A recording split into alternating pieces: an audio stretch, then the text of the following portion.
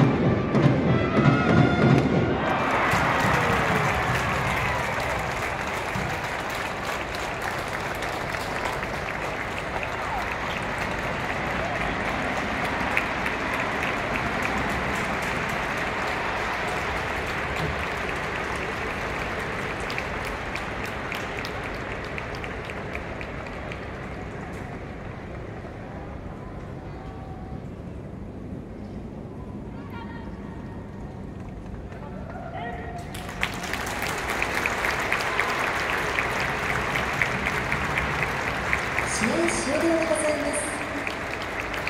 ご覧いただきましたように本日の試合は2対2で引き分けでした。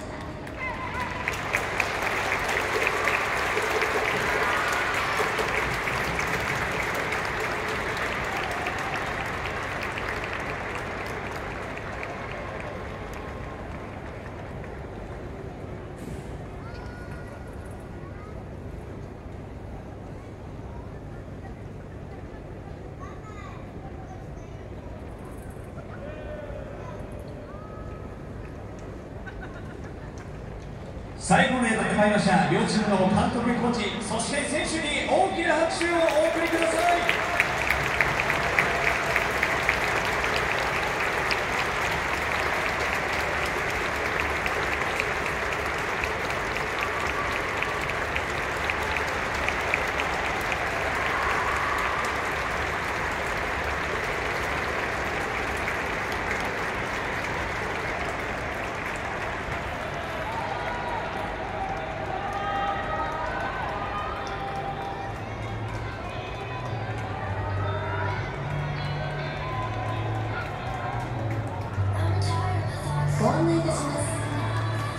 この後グラウンド上にて読売ジャイアンツ女子チームの宮本監督と選手にインタビューを行います。